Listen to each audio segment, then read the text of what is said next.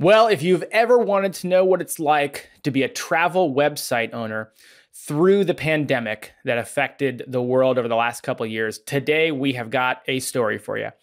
Today we have Monica Lent on the podcast, and she owns a site in the travel niche. And coincidentally, her site had grown to the point where she was able to quit her full time job several months before the pandemic hit. And so she found herself stuck with a site that was getting less than 10% of its search traffic because no one was traveling. She had a site that was monetized in some part with ad revenue, and nobody was advertising in the travel space. And so, what we have is a really, really interesting story about how Monica was able to take this really tough time, not go back and get a full time job, but instead not only grow the travel site to where it is now, but also start several other projects that are generating her a good amount of revenue per month today. Her travel site just surpassed $10,000 a month. It's doing great. Part of that, obviously, is the resurgence of travel because of the pandemic slowing down. But she also has a number of other projects that she's grown to uh, to a decent monthly revenue, including uh, Affilimate, which is a affiliate tracking uh, software that allows you to understand and learn where your monetization efforts are working and not working. A lot of this interview centers around the different approaches that Monica takes to growing websites and getting traffic. She certainly does not follow the conventional methods that a lot of us use to grow websites. And so she shares a lot about how she creates content, some of the keys that she thinks lead her content to be successful. Obviously, the travel niche is incredibly competitive, and she's winning with uh, an approach that looks a little different than maybe a lot of SEOs might take. She shares tips on how to better monetize. Obviously, having a lot of data in front of her from Affilimate, she does have a lot of insights into how to better monetize. Uh, it's a really fun interview. Uh, a lot of different things certainly some great threads of inspiration here, but really most of the interview is about some really strategic tactics that Monica uses to, to grow her website and to, to get paid more per visitor. It's a big theme she has. So I uh, hope you enjoy today's interview. Today's show is sponsored by Ahrefs, an all-in-one SEO toolset. Do you wish you could get more traffic to your website from Google? Well, half the battle is understanding what you need to fix on your site first. One route is to hire a costly consultant, but we've all been there, we've all done that, and there is another way.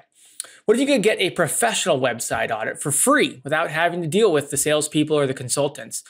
And that's the power of Ahrefs Webmaster Tools. It's a free resource that's going to help you prioritize the optimization opportunities on your website which in long run means more Google traffic. You'll see which keywords your pages are currently ranking for.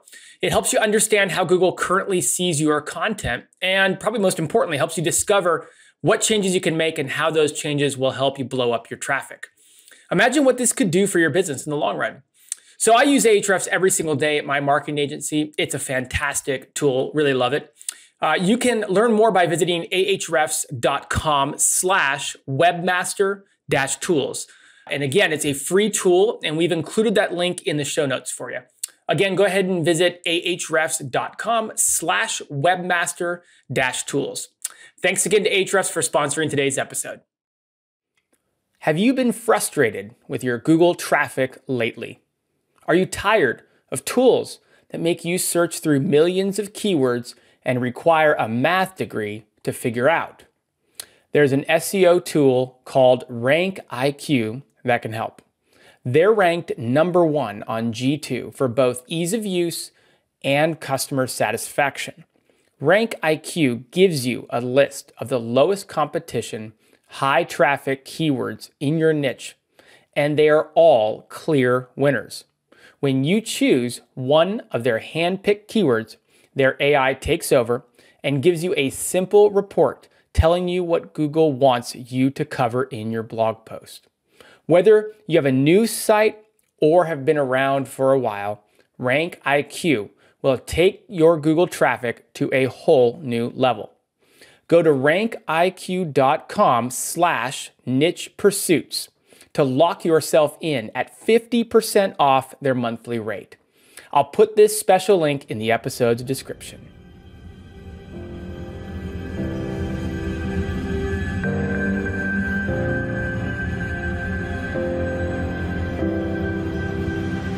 Welcome back to the Niche Pursuits podcast. My name is Jared Bauman, and today we are joined by Monica Lent with Affilimate. Welcome, Monica. Hey, Jared. Thanks for having me.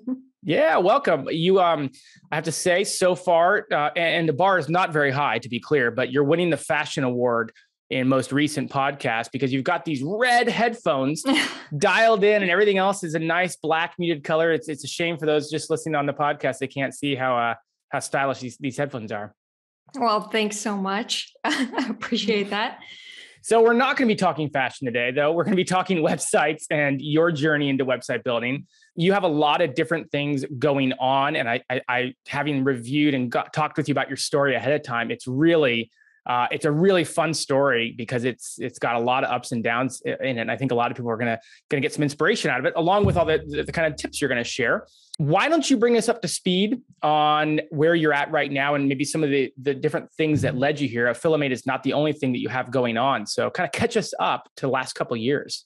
Yeah, for sure. So I used to work at a fintech company here in Berlin uh, quit my job thinking I was going to use the income from a travel blog that I'd been building for the previous couple of years, kind of fund me as I started a, a SaaS business called Affilimate, as you mentioned. Turns out at that point, uh, we had a global pandemic. All of the revenue went, you know, completely to zero in a matter of weeks. And the last two years have been kind of coming back from that. Uh, I'm sure we will get into a lot of those uh, things that have happened during that time uh, in the course of this discussion. But uh, you know, thankfully, in the meantime, uh, I've managed to recover the site, as I just shared with you, Jared. Like, just reached 10k revenue in the last 30 days, so that is an incredible turnaround from where it was, uh, you know, a year or two ago uh, when it was less than a grand a month. Uh, so that's that's wonderful. But yeah, it has not been smooth. Uh, there have definitely been some financial difficulties, uh, but super, super excited to be here and to share kind of what I've learned along the way. Yeah, I mean, you just emailed me, I think last night saying, oh my goodness, you know, we just got kind of the numbers in and we just broke 10K for the month. I'm so glad we're recording right now, you know, as opposed to maybe a month ago. I mean, you would have been close a month ago, but there's something so profound about hitting. I mean, what is that? That's five figures a month now. So that's that. I mean, that's a huge turnaround.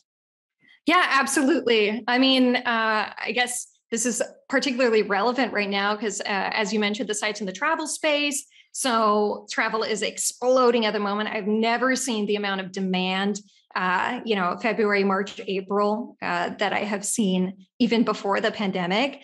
So it is pretty wild to kind of be watching those kind of global events play out on your website. And of course, at least this time, the impact on revenue is a positive one. Well, so let's go back uh, to the months leading up to when the pandemic hit. It sounds like, I mean, obviously, no one could have predicted something like that. You were pretty confident, given your back your background, that you had something going with this travel blog. What was your background in fintech? What were you doing at uh, at, a, at a fintech company? Yeah, I worked in software development. So I've been a software developer for like 10 plus years. And uh, I was working there as a front end engineering lead. And so kind of had the ability to build up some savings. I told myself, you know, by the time I turn 30, I don't want to have a boss anymore. And uh, let's just say I got dangerously close to that personal deadline.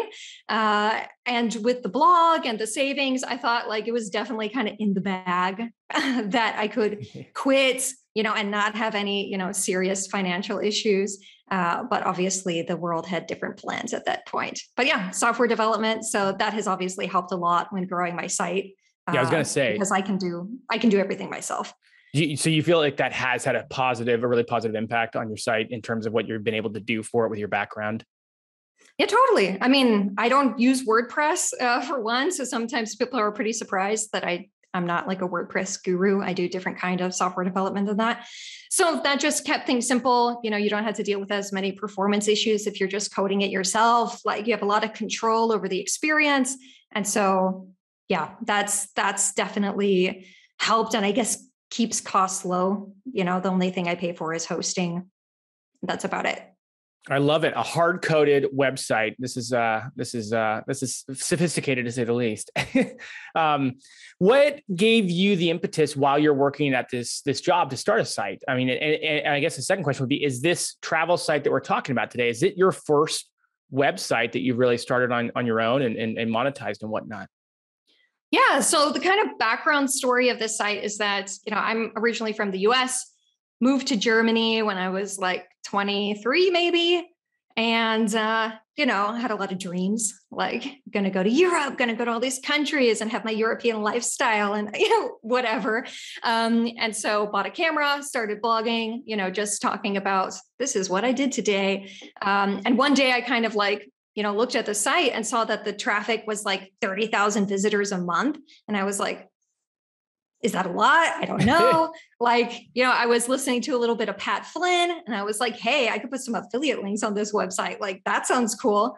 And then it was like doing one of these kind of annual reviews for like tax reasons. And I was like, wait a second, this website made like two grand in like hotel affiliate bookings this year like, hey, that's kind of like a lot of money at the time, you know? Um, and yeah, I thought, okay, what if I just did this on purpose? And uh, it kind of went from there. So it's my first site. Uh, it's technically really the only meaningful site. I have a little like test WordPress uh, website that I just used to learn WordPress, but it's it makes like 500 bucks a month. It's not it's not really serious in comparison to the travel site. Well, I feel like you're glossing over the the kind of the, the beginnings of this site. I mean, it's it's so many of us, I would say, and we talk about it a lot in the podcast, perhaps overthink starting a site. You know, we spend so much time uh, maybe listening to every niche pursuits podcast that's ever been available before we you know go out there or we you know spend so much time on due diligence on the niche and then so much time on researching what articles to write and then slowly but it almost sounds like you went the exact opposite approach. You, I don't want to put words in your mouth, but you had an idea. You started a site about travel.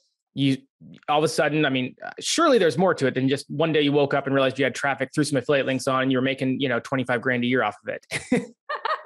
no, I mean, at that point, it was like more like a couple grand a year. Um, and no, I mean, the thing was, I never started the site with the goal of monetizing it. It really mm. started as like the most traditional blog. Like when you think this is a blog, I'm writing about myself. Like, of course, while I was writing about myself, nobody cared. Uh, it was only, you know, once I started to write content that was actually useful for other people, kind of documenting the places that I went, the experiences that I had, and, you know, making it more reader oriented.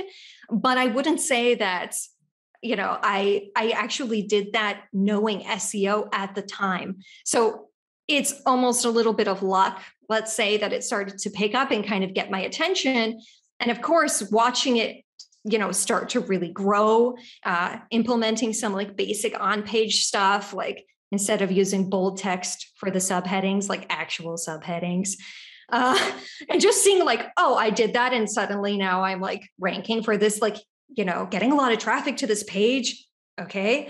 Uh, so it was definitely not uh, so strategic with like a whole plan or anything like that. It's more, it just kind of happened uh, as a result of just creating stuff that I thought would be useful for other people, which I realize sounds very cheesy and uh, overly rosy, but that's that's what happened. And now the site is like six years old. So i'm sure that if i had like a plan and a strategy from the beginning obviously i could have reached you know a 10k milestone way sooner but that's that's not how it worked out for me yeah your story reminded me um, just recently I, I, run a marketing agency for for my day job and uh, we just took on uh, onboard a new client and one of the things we flagged is that their header structures on all their articles on the whole site were way off. And so we asked them about it in our in our review, and they said, "What do you mean about headers?" And so we kind of showed them what we're talking about. And they said, "Oh, I just thought that was for different sizes of fonts."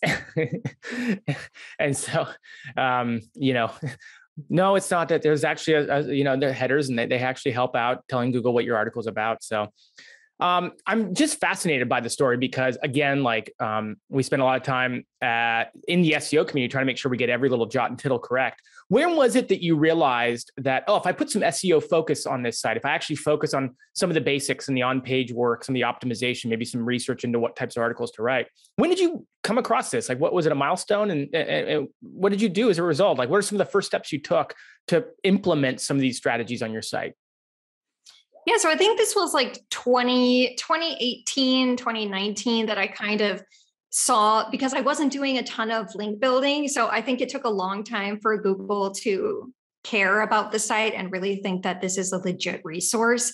Um, so it was kind of around that time that I started to notice the traffic really growing, going up.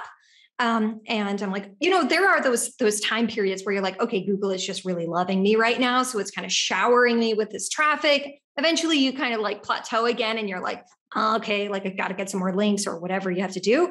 But that was kind of like, okay, watching this just going up and up, and uh, I started to rank specifically for um, things to do in Berlin. So I live in Berlin, right? And uh, when I saw like just getting all of this traffic, now that I fixed my headings from being bold into like H2s, it's so ridiculous, but that's what did it. And just it was really just like this kind of virtuous cycle you know you see you're getting traffic this motivates you to write more mm-hmm. and so during that time frame like i really you know started to publish a lot of content uh, I was also traveling a lot. So all of the articles on my site, I wrote them myself. They're based on my own experiences with my own uh, images, everything like that. And so I would just kind of, you know, it's just kind of compounding. And uh, yeah, right before before the pandemic, I think was when I had the first month at 5K. Um, and that's when I was like feeling pretty confident. Like, ah, and it was 5K in December. And the thing about travel, as you can imagine, is like your winter revenue is like peanuts compared to how much you make like in the in the summer season. So I was like, okay, if I'm making 5K now, like I'm definitely gonna more than double this over the summer. So that was kind of like what happened. It was really just saying, okay, we're being rewarded with traffic. That's amazing. Uh, let me just kind of like feed the beast more more content um, and slowly it worked it worked enough uh, i would say yeah clearly clearly uh, i was going to ask you next like so it's about 5k a month as we entered into this season where you were leaving your your job and you know full-time job in fintech and and going full-time and then several months in it just the world kind of took a nosedive when it comes to travel we'll say in terms of the pandemic um, what what what kind of changes happened to your traffic? I mean, was it was it like an overnight effect, or I mean, this is your full time job at that point? I mean, I can't even imagine the feelings that must have been going through your mind. Yeah, I mean, the thing was that I the idea was to kind of run the site passively while I built up my software business. So it was a little bit concerning because at the time my software business, you know, was making it like a thousand dollars a month. It wasn't huge. So I was relying on that money to like, you know, pay for bills and stuff. But yeah, it was like a three a three week period of time where the traffic was down to 10% of its previous levels. Mm. And then of course the ad revenue, you know, also went down because people were not like I don't know, I'm not like an expert on ads, but like clearly they were not paying money for relevant ads on travel content because nobody was going to travel anymore. Mm. So like during that kind of first part of the pandemic, the the site started to make, you know, maybe a thousand dollars a month, maybe less. And it was almost exclusively just the Amazon links uh, because people still bought stuff from Amazon. If anything, they bought even more from Amazon, Toilet right? paper. Um, exactly. But but Amazon has never been like my focus or something mm-hmm. that I really cared like hugely about. So, and I think people also had less disposable income. And the only content that I really wrote that was monetized with Amazon was about uh, photography gear. And a lot of photographers were also just not getting gigs at that time. So, kind of like a accumulation of everything it went uh, very flat. And luckily, I had savings to fall back on, which is what I ultimately did for a good part of 2020. So 2020 became about us, you know, relying on savings. But what were like, what did you do in, in throughout 2020 as you had this happening? And by the way, I say this, it's so funny. Um, you know, this wasn't planned, but a lot of the interviews we've been doing of late, and we're recording in kind of early 2022 or you know kind of first quarter second quarter of 2022 it's funny because a lot of the interviews are stories that are coming out of the start of covid and then what people did during that time. We're about two years removed now from when covid first hit and we're getting all these success stories of what people did and they're oftentimes on the back of really somebody having their back up against the wall because of this situation. Maybe somebody discovering that they want to make a change in their life because of what happened. Maybe somebody discovering free time because of what happened. But this is another one of those stories where, in this case, your back was up against the wall. uh, what did you, you know, what did you end up doing with 2020 uh, as it relates to maybe this side, but some of the other endeavors you have? Yeah. So after playing a lot of video games and just like sulking and being sad and like whatever other emotions uh, that kind of came up at this time, um, I I ultimately kind of pivoted away from what I was what I was doing. I realized travel is not going to come back anytime soon. Actually, there were a lot of people trying to snap up travel websites. Uh, if anyone owns them, they were trying to get a bargain at oh, the time. I'm glad I did not sell, but I got a lot of emails um, about that. Um, mm-hmm. And so what I did was I I had an audience on Twitter uh, of software developers because I've done conference speaking uh, and blogging in the software development space. And so I launched a, a newsletter and later a paid community for developers to learn blogging and SEO. It was kind of like a way to combine, oh. you know, the audience I already had, like I could reach them on Twitter. I didn't have to rely on search demand. Um, and so I built an email list. Today it's like over over 12,000, I think 13,000. I'm not sure how much um, and built that up with an email course. So that converted like crazy. So launched it on mm. Twitter. I don't know how much it got shared, but then I also launched on Product Hunt, uh, and it got to number one product of the day. So this like really picked up quite a bit, and then was able to basically turn the free course subscription and newsletter into a paid community, uh, which I run using a, a tool called Circle and that's cool. So i do like virtual events um, and like free kind of like material for for the paid members. So yeah at the end of it that's kind of how i turned it around. And since then the community has done i don't know 50 60k in revenue. So at least I did not, you know, completely lose all of my money in 2020, but it was very haphazard. Like I had my 30th birthday and I, I was doing my accounting and I saw I made like $500 for all of June. And I like, I kind of lost it at that moment. It was really stressful. Um, but of course, like, yeah, managed to break even by the end of the year. That's kind of I guess how that turned around careful what you wish for. You wanted to be your own boss by 30 and, and you got it, but, but, but maybe at a, maybe at a cost. Only with a $500 paycheck. yeah, boy. I mean, I guess you, you know, you uh, get what you, you get what you ask for sometimes and you just forget that you didn't ask for everything, I suppose. well, Absolutely. That's a good, that's a, you know, it's, it's, it's interesting, but I mean, I think a lot of us have those, um, opportunities that we miss in our lives where there's an opportunity to take advantage of something that we're maybe an expert in or that would be related to what we're currently doing but miss that opportunity. So that's a very interesting success. Did you ever think about going back or trying to go back to a full-time job um, during all that? I did but I think probably like a lot of listeners to this podcast, the idea of uh, re-entering employment just sounded so terrible. I would I would rather spend like all the money in my bank account than have to do that. Mm-hmm. Um, not because like I didn't like my job, but because I like being in control of my day and no one being able to tell me what to do, and just knowing there's no limit.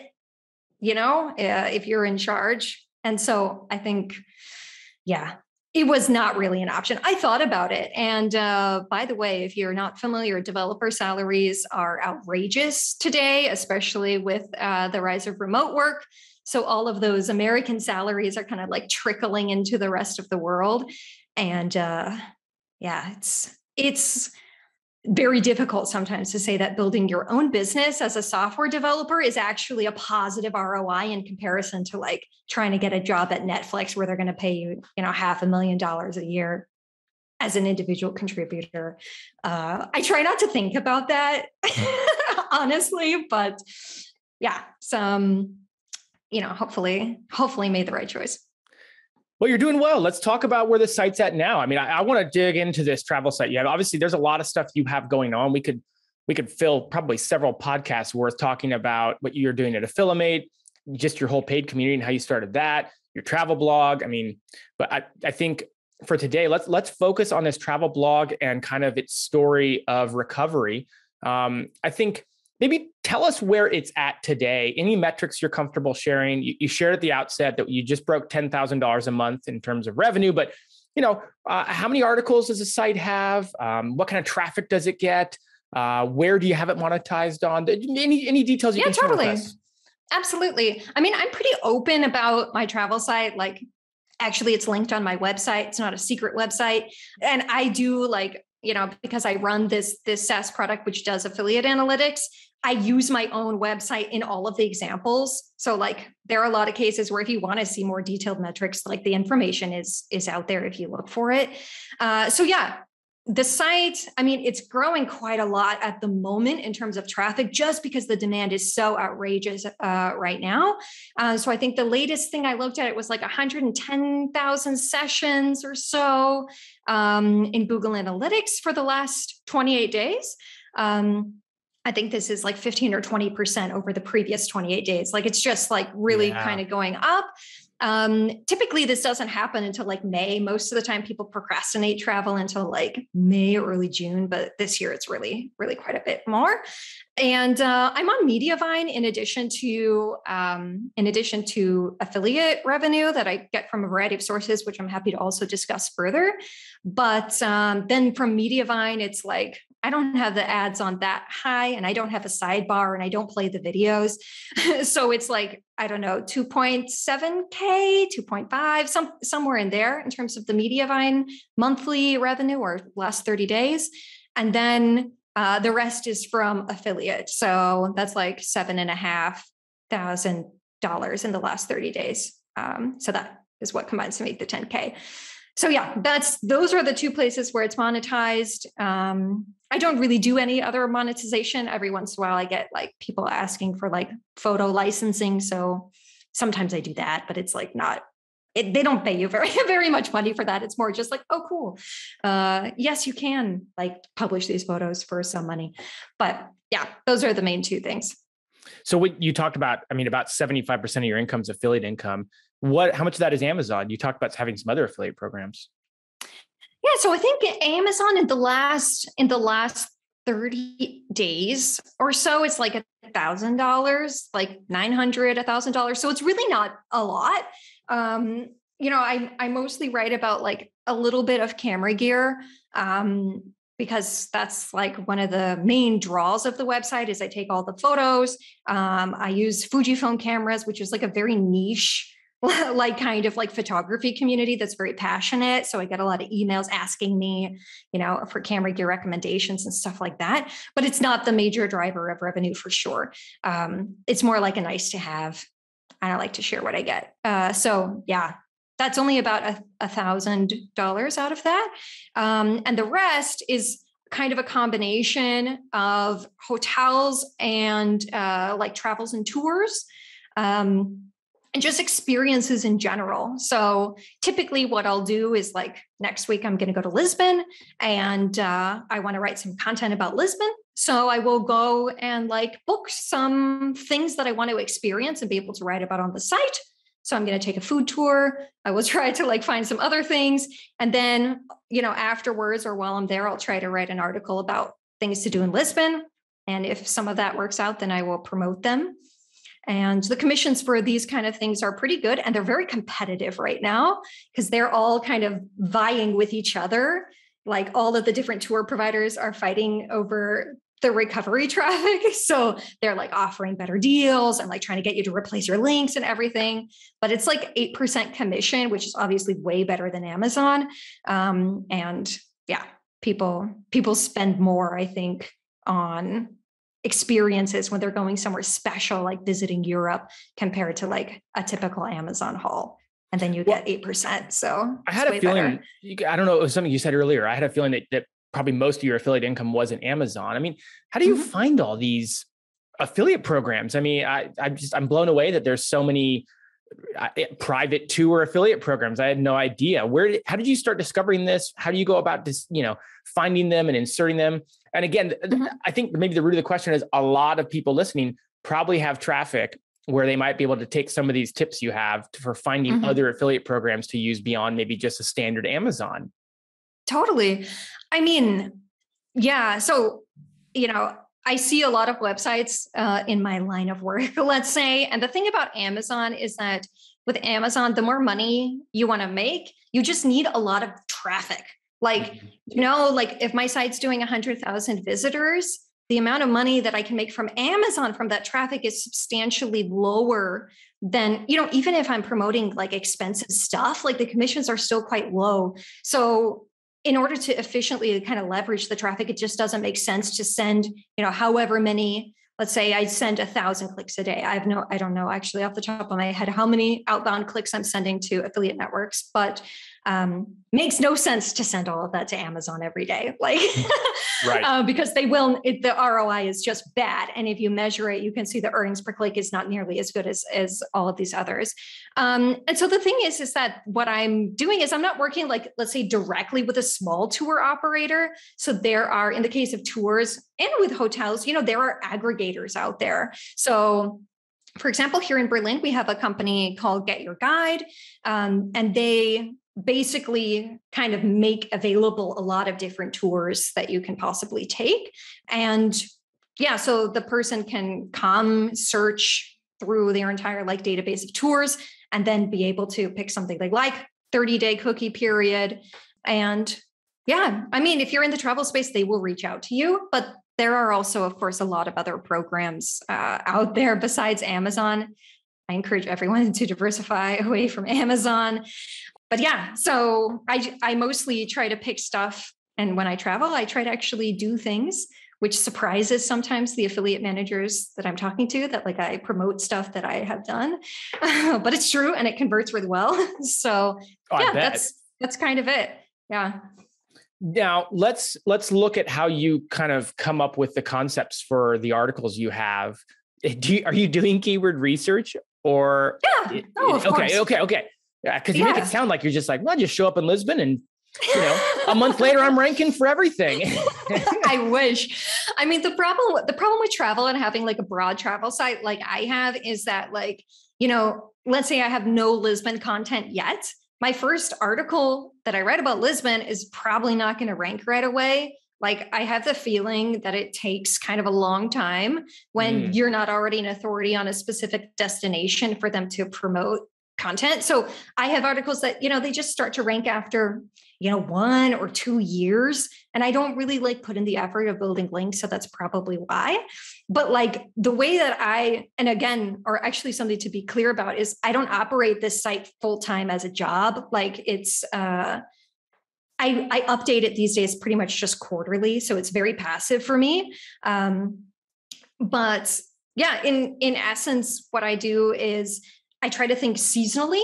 So let's say winter is coming up. I want to make sure that all of the winter content is at least updated and refreshed by the time people are going to be starting to search for that. And because freshness is so important in Google for travel content, especially these days, you really want to get up to date information. Then doing that regular refresh uh, is super important. So for Lisbon, for example, a friend of mine who I'm who I'm meeting in Lisbon, he told me, "Oh, like I bet you can totally cash in on Lisbon this year. Everyone's going to be going. It's like a very hot destination, at least in Europe right now. Everyone's like Lisbon's the new digital nomad capital or whatever." Um, and I'm like, "No, like."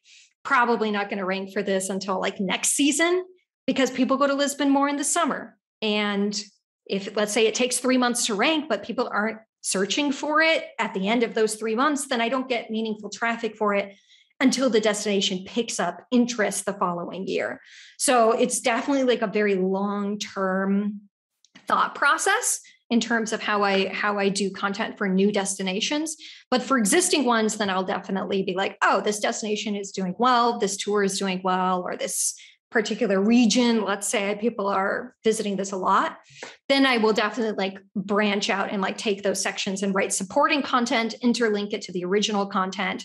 So if you have things to do, then maybe you also want to support that with content about where to stay. Um, let's see, I don't know, specific activities or things like that. So definitely like supporting the stuff that's already ranking because that will go faster in my opinion. I don't really like measure this like that much, but I have the feeling that okay, interlink it, it's already ranking on that topic, and uh, that's a faster way to add additional streams from some kind of a destination or strategy that's already working. Right, right. Yeah, there's clearly a, I mean, a pretty large seasonality component, I'm sure, to what you do. It sounds like summer is the peak travel time by far. Absolutely. Yeah. It's huge. Yeah. yeah. August. August is when I'm going to have all the money. Right now, not as much. Uh, so I'm just like waiting for all of the like August, August and September payouts. We're going to be really nice. so great. That's great. Yeah. So many, so many people thrive in um, maybe Q4, right? Especially if they're selling mm-hmm. heavily on like uh, products or Amazon stuff. So summer traffic totally. and summer income. That's that's uh, that's a different season for many. Well, at the risk of diving too deep, let me ask you a little bit more about Lisbon. So, what would this process look like for Lisbon? Like, let's say that you're going to make a go of, of of Lisbon and ranking for it. You talked about writing about things to do. Like, where do you come up with some of the the content that you'll write, and then um, how to build out the supporting content and uh, and drive that traffic back to where you want it to? Yeah. So, what I like to do, and kind of what I recommend to a lot of people uh, who are writing, I mean, any kind of affiliate content, is like list style content does really well in general, right? We all know that like best product roundups are very popular. In my opinion and experience, they often work better than individual reviews just because of the buyer persona of the person that goes to list style content. Mm. So, things to do in Lisbon is not really that different than best product review. Like best cameras for 2022 or whatever. Like it's kind of the same thing. People want a list of options. Maybe some of them they will buy, maybe some they won't. And so what I like to do is write something in kind of a list format and use this as a way to test out different products. So for example, in Lisbon, I saw there were these like electric tuk tuk tours. I don't know if anyone really does that, but like they have like five star reviews and a lot of really positive comments and they cost like 150 euros per person. So 8%, like the commission is pretty decent. Like if you can actually get, let's say on page one of things to do in Lisbon, which is probably pretty competitive, but you know, go big or go home, then you know you can kind of say, all right, I can picture maybe how I would make a reasonable amount of money uh, from something like that. So if I want to do that, then maybe I'll go try it myself and if it's good then i also have all like original images to include in the content. Um, and this is so key like for people really also trusting that you are not just like making stuff up and you're just like hey i actually did this. I went there. This was my experience. Builds a lot of trust improves the conversion rate of course. Mm-hmm. and then if something like that goes well then maybe i would write a piece of support supporting content that is like best lisbon tours something like that. And then maybe I can also rank for these other things. So you can get more specific. Um, and I think it's really about, you know, hopefully eventually finding those keywords that don't have the word best, maybe, but actually have that commercial intent. There's so, like so much opportunity in, in in that space. And that's kind of just how I would do it. Test it out in a list, see what I learn from, you know, collecting the heat maps, the click data, the EPC data for the affiliates, and then you know branching out into supporting content and just thinking how else could I promote this food tour that I'm going to go on. What, you know, once you have a product that converts, you can write a lot of different kinds of content about that. Right. Um, and so that's kind of how I would work backwards, but you need somewhere to begin testing. And so um, things to do is a great a great way to do that. I think Lisbon's going to be really competitive. But if I write it and it's really excellent and I do like 50 things, then maybe by next summer, it, it, will be somewhere in page one. That would be my like long-term vision, let's say, mm-hmm. for this article. Well, you talked about not link building much, if at all. Um, do you do any link building? Do you because there's some pretty competitive players in the travel space. And so I'm I'm just curious to learn more about yes. your approach there. yes, you're like yes. welcome to my world. I mean, we all I mean the thing is like, you know, everybody who runs a travel site, we all have these sites. You know, it's like in the in the health niche, everyone like hates on Healthline. In the travel niche, we like all kind of like hate on TripAdvisor. Trip, or, I was gonna say yeah, TripAdvisor is the worst. Uh, or um uh what is it called? Like uh, culture culture trip. I don't remember. Like I, I'm not into SERPs as much uh, for this as I used to be. But uh, yeah, I mean, there are like a fair number of link building groups on Facebook. You can do like link swaps. Um, and that's kind of how I started. But I find these very tedious to do. And also, I think a lot of bloggers are very, let's say, suspicious or uh, you know paranoid maybe about like oh what are the rules from google? and like if i break a google rule like as though it is actually a crime or has some kind of like an ethical component. And so i just find like okay i'm not i, I don't want to deal with this. I don't have time to like negotiate with like people on Facebook. So, um, I mean, I do a lot of link building for like the Affilimates website, you know, because it's in the affiliate marketing niche. There is absolutely no way to rank for that stuff, I think, without it.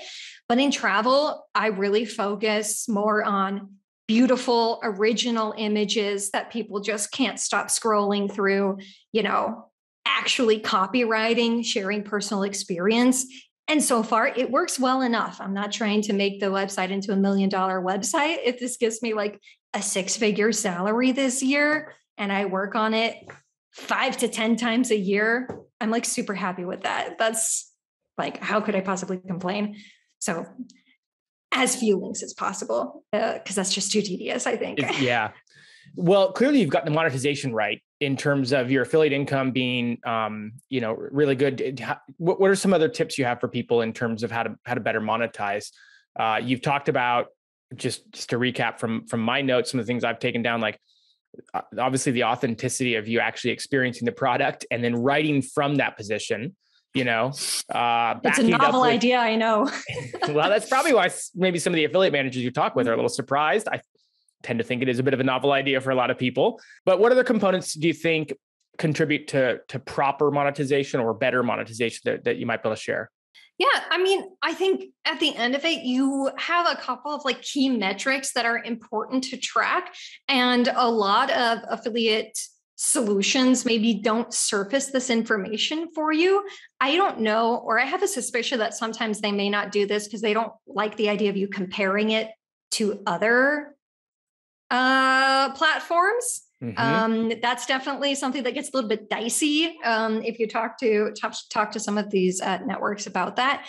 But uh, you know, if you have the exact same experience on two different platforms, let's say, for example, you have the same tour and it's offered by actually the same company, but it's on uh, one is on Get Your Guide or Viator, for example. Or let's say you have the same hotel and it's on hotels.com versus booking.com. Like there is a very high probability that, yes, there's a certain amount of conversion that is attributable to the product experience itself. But there's also a huge part is like, how easy is the checkout flow? How much social proof did they manage to like, you know, cram into the, the landing page you're sending people to? Uh, how good are the images? Like, all of these things about the actual product that you're promoting, you can measure them with metrics like earnings per click, where you can say, okay, this, you know, this is clearly earning me more money. So I'm going to swap this out. Um, and swapping out stuff that is like low performing, it makes a big difference. You just have to have the metrics to look at it and say, hey, I'm sending these people, you know, 5,000 clicks a month and I made 200 bucks. Like, is that really, is that, is that okay? Like, I mean, I, I'm bad at mental math, so I don't know, know off the top of my head if these numbers are good or bad, but you know, if you're looking on an EPC uh, level and you're like, okay, I'm getting like five cents a click if I send someone to Amazon versus like I send someone to booking.com and maybe this is like closer to 25 cents a click, which I certainly have content that is like, you know, on that level or higher, then it makes, you know, like I have content, for example, where I have like packing lists, right? Where yeah. it's saying, okay, yeah, you want to go here, here are the things to buy on Amazon. That makes no sense. Like it would be better to take out the Amazon links altogether and put in something else that is going to, that is earning better on another piece of content. You know, test that in there and see do the metrics for this particular article increase. So I take I take a somewhat analytical approach to that. And I think it's just so clear, you know, when you look at the numbers, whether something is earning or not. Um, and this is also an important thing for like maintaining the links, right? Like I had one of my like top selling uh, products go out of stock.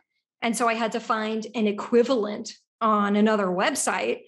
And, you know, this definitely cost probably six, six to eight hundred dollars because I just wasn't like paying attention. And then, you know, when I saw, oh, this particular link is like not earning as much anymore, you know, tested it out, swapped it out, and now, you know, it's earning way more.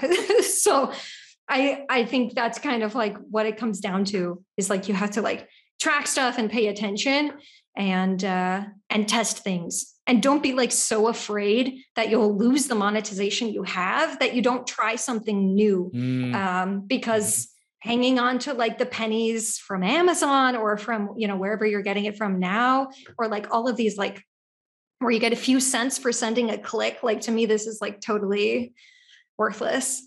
I would rather you know focus on converting the user to something really awesome that they're going to spend like a high amount of money and then get like a proper commission. And get the right commission it's great tips. So you mentioned this is actually not even your full time job, and you started Affilimate. What is uh, what's what's behind Affilimate? How does it tie in for affiliate you know style websites? Yeah, so it's affiliate uh, publisher tracking. So basically, you are, let's say, part of 10 or 20 different dashboards and different networks and whatever, and your metrics and all of your commissions are spread across all of these different places. You probably even have like dashboards you forget about that you're like mm-hmm. even a member of. Um, and so basically, what we do is like combine all of that data into one place. And then we help through sub ID tracking, which is basically like campaign parameters, goes by a lot of different names. We like automate the creation of that on your affiliate links so that when those commissions come in, we can tell you exactly what pages and links they came from. Um, and this is really powerful mm. because like we have a lot of people, you know, they join join the platform. They have, I mean, we have people with millions of page views and traffic, and they don't have this kind of information, or they are kind of like doing this in spreadsheets twice a year because it's so painful. And yeah, basically like automates all of that and allows you to understand like, okay, which of my pieces of content is the most valuable? You know, which of my links are earning me the most. And this is like, I mean, a really clear way to make a content strategy for affiliates that uses data.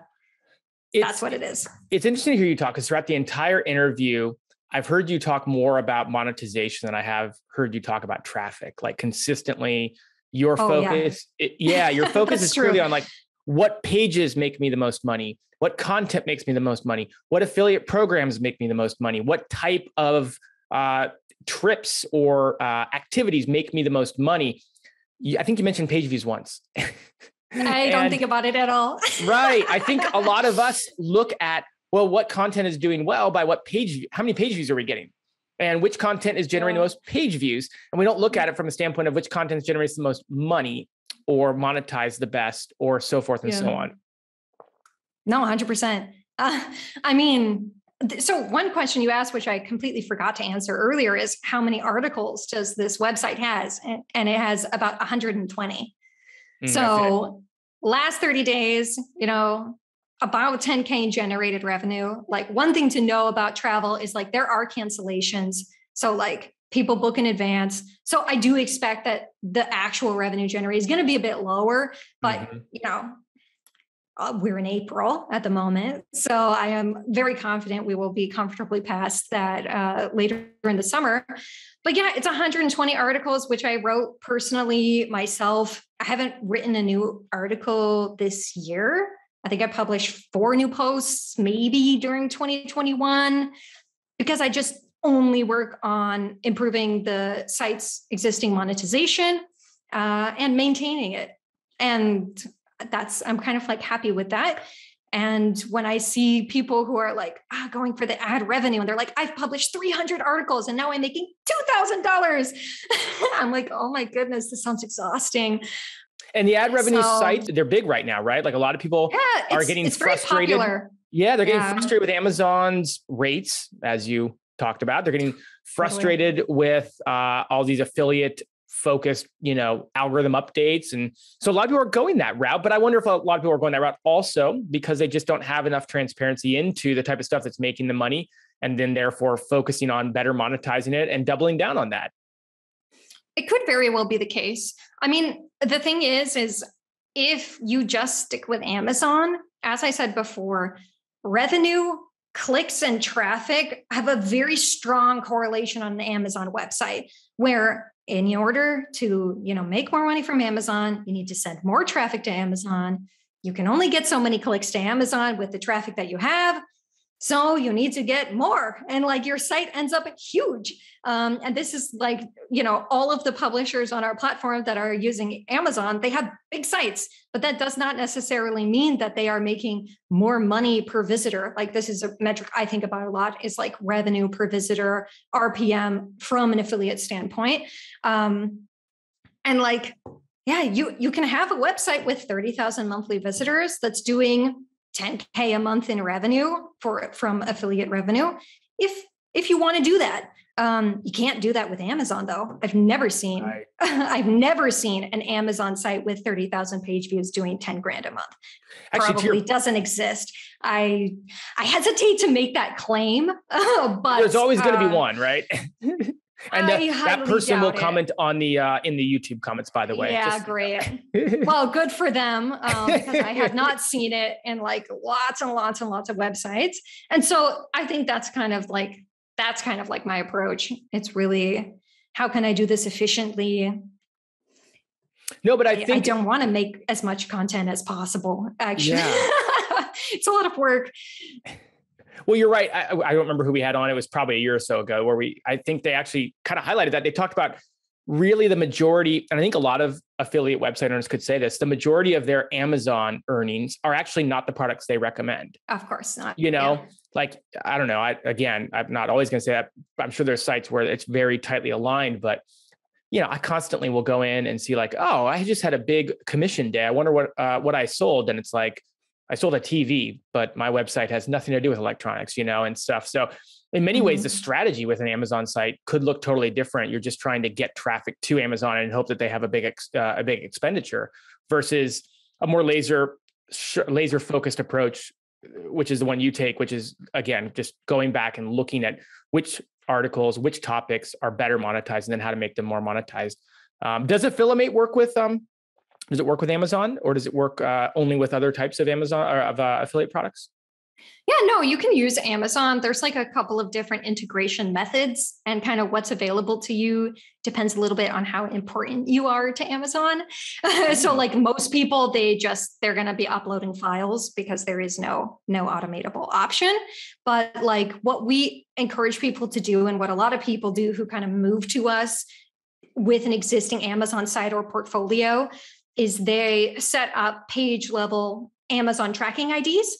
Mm-hmm. Um, and then we basically let them link all the commissions with that tracking ID to a piece of content. So then we can do all the calculations for them in terms of like how many clicks they sent on that page, you know, how much they're earning per click from Amazon on that page. Um, and also how this changes over time. So you edit the page and you can see how the revenue per visitor you know increases over time and so this is kind of like the best you can do with amazon but obviously like it's way better when right. we work with, with like booking.com you know, or one of these places yeah yeah, I mean, um, because the thing is, is that those dynamic sub IDs that you can add, like we can encode really rich information in there. So, like, we can tell you, okay, this is the button on your website that is making the most money, for instance, and like you know, I have a button on my website where I can say, okay, this button made me $400 in the last 30 days. Yeah. And like with our customers, like we've also seen like, okay, this is, this is your $6,000 a month button. Like now you know that and you are never going to touch it because you might be tempted to think, oh, what if I, you know, what if I do something a little bit above the fold or whatever? And it's like, okay, now you know you know this this button is your money maker maybe you want to put that button on other pages. You know once you kind of know what on page strategies are driving conversions like you have a way to move forward actually. And of course with amazon this is just like it's totally not possible. Like you can understand the types of like content and what's generating the most money, but it's it's not as scientific. Right. Let's say you're really just doing on page and trying to get more clicks to Amazon. Like which is why it's great for beginners. Like it's a great program for beginners uh, for sure. I just I don't think huh, there are exceptions, but mm-hmm. eventually, any everybody, I do recommend finding some Amazon alternatives um, because yeah, we all know the next rate cut is going to come and one day. It will be gone, I guess. I don't know. Maybe at least in America. I, I think they have so many affiliates in America that's that's my take, my hot take. One day it will be gone. maybe, maybe we'll make or, it the headline. Or Monica they will announces give, give you the 1%. Amazon affiliate program is over. I mean, there are a lot of people these days who say affiliate marketing is dead. Like now it's only ads. Um, and my other hot take is that I don't know if ad revenue is going to survive privacy regulations. So I also treat that as like a nice to have uh, as someone based in Europe. So we're right, gonna, right. Yeah, we talked about that here. Yeah. There. Last question from me. You have access to see a lot of, you know, monetization uh, data, and you have access to see what works, not just across your site, but across probably a whole plethora of, of sites. Like, just some really high level things you see that typically work more often than not that maybe that people are missing or people could take advantage of. Again just really high level um, couple things you might see um, quite a quite a bit. I mean, the number one thing is uh, you know exploring outside of amazon. I realize that that's not so easy.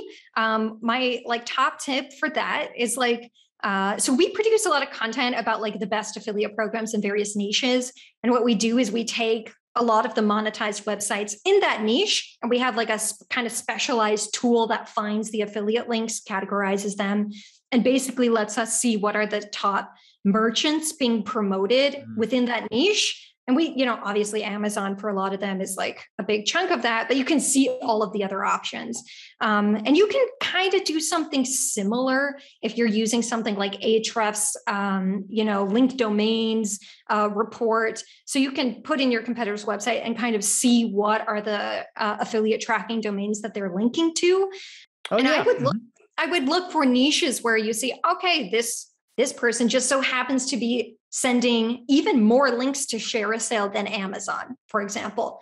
That's very interesting, right? Because if somebody is has linked to ShareASale, I don't know, let's say a thousand times on their website and Amazon 500 times, mm. like it's a good sign that they have something that's working there and you can dig further. Um, so getting out of Amazon, I think is the main way to kind of free yourself from just chasing uh, traffic and competing over the same keywords as everyone else, like best vacuum, best blender. It's also like not fun content to write if you're doing it on your own.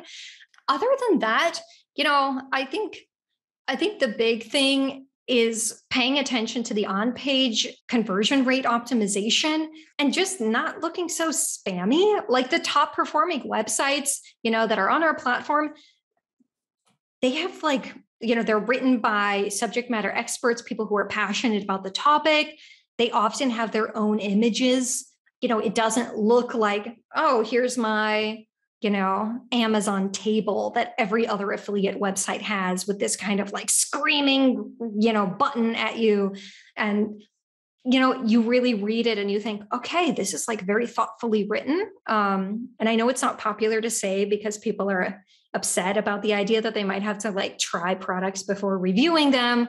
But like at some point like i would say that would help a lot. Uh, so and then you know it's the basic stuff like improving your comparison tables having comparison tables in the first place you know visual design. They don't need to be 500 different colors. Make it clear this is a big one make it clear what is your number one choice Mm. Like mm-hmm. number one, the one and only best. Like, because I think a lot of people are like, oh, I just want them to click on everything. And then, you know, there's, you're not telling the reader, like, look, I tried the best five vacuum cleaners and like, this is the one in my home. You know, here's my portrait with the vacuum. And like, okay, not that, not that extreme, but you know what I mean? Like, really making it clear this is the one I recommend. If you're a beginner, pick this one for this reason. If you're more advanced, this one for this reason, like segmenting people out, um, but making it clear like what is, once you've established your authority as a reviewer, which one do you pick? Um, and also not wasting your time on uh, product reviews that only have like a search volume of 20 because like the search volume for blah review is going to be way less than best blah like 100% so like i don't know. I'm sure if you review like you know DreamHost review i'm just imagining. I'm sure you make a lot of money with that just because like it's in the web hosting niche which is like a lot of money. But most of the time i think individual reviews are like can be a bit dicey. Um, if the search volume is really low. You have to make up for that with like high commissions or high average order value. Uh, and not the case with Amazon. So you can't do that with Amazon products, that's for sure. I can go on, but like these are some of the things that like I see the most and I'm like, ah, like and I recommend them all the time to people because these are just best practices on page, you know, you want to make it clear what you want people to click and why they should believe your recommendation. And hopefully it's a good reason. That's about love it. it. I think I poked. I think I poked the bear enough on the Amazon topic, and uh, and I got your real, got your real feelings on it. sorry. No, I'm I just like, it. oh, so much traffic sent to Amazon. Don't they have enough? I don't know. I love it. These are great tips. I think you're speaking uh, the thoughts of a lot of people. Um, uh, this has been wonderful. I like I said, we could probably talk about all sorts of affiliate things and the things you're seeing there and how you built that company. I mean, we only briefly touched on your your paid newsletter and that whole community you started of software developers. Um, congratulations on the success of your uh, your, your travel blog, and uh, hopefully we'll we'll be able to see at the top of the, the the SERPs for Lisbon next year around this time, and many other places you've traveled. Where can people follow along with you? Where where, where do you want to direct people to keep in touch with you if they want to learn more um, about Affilimate, these kinds of things?